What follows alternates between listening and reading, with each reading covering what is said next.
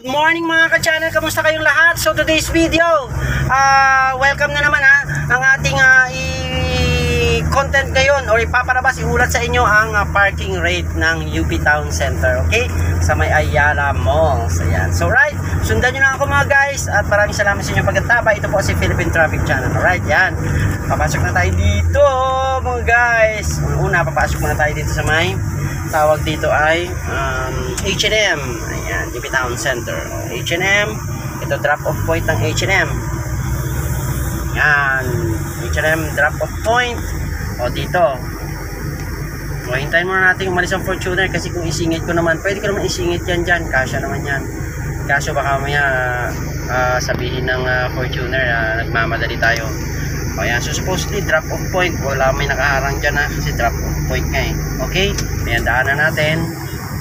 So mango, nandyan ang mango nandyan ang ah, H&M okay, UP Town Center yan guys ha, just to put on the record ha, para at least makita nyo ang ating lokasyon ay ah, the same sa ating sinasabi.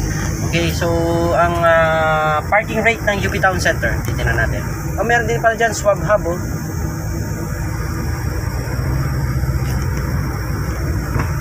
Okay, so dito tayo dadaan.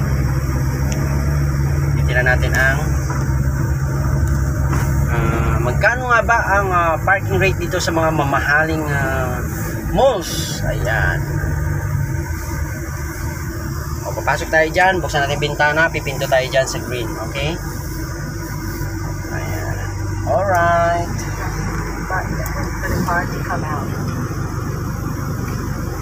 Your opening barrier.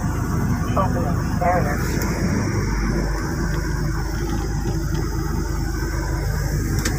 Okay, yan mga guys. So after natin dumating doon sa may, may parking, okay mga guys, ah babayaran natin to kung magkano ha. Okay, babayaran natin. Babayaran natin agad. Kasi pagka Sunday mga guys, may may, may ano yan eh, pag weekend, Saturday, Sunday, merong ano, may may ano yan ha, may pamasahe kung magkano ang rate.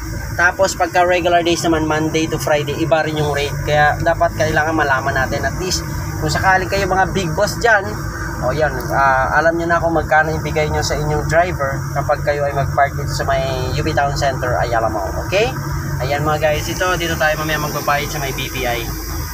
Ayan, meron sila dyang ah, ah, booth ha. Sa UP Town Center mga guys, sa mga Ayala Malls, sa may mga Ayala Malls mga guys, usually, bago ka sumakay ng iyong sasakyan, magbayad ka na nun ng ticket, hindi yung dadaan ka sa dadaan ka sa may barrier para pabayaran mo, may nagbabantay doon, no?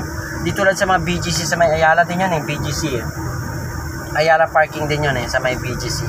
So, iba din yon may mga may mga may mga teller doon, kumbaga may nagbabantay doon. So, yung ibang Ayala malls naman, meron doon ah, ah, bago ka ano, bago ka sumakay sa iyong sasakyan, bayaran mo na yung ticket mo. Or else wala siya ah, ticketless na, ah, paymentless na doon sa may pagkadadaan ka sa may barrier. Ayan, kaya babayad muna kayo.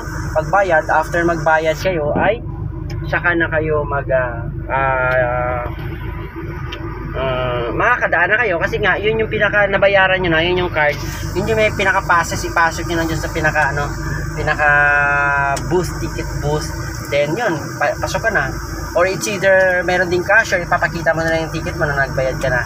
So ganun mga guys mga classification may depende no sa mall ng mga patakaran.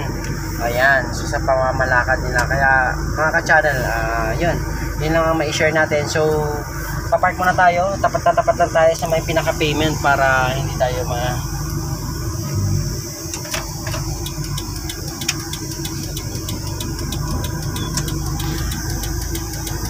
ito pala ano bang BPI oh dito dito dito dito dito dito yan tama tama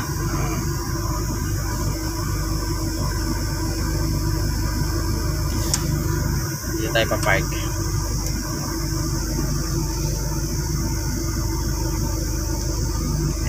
So nakapark na tayo.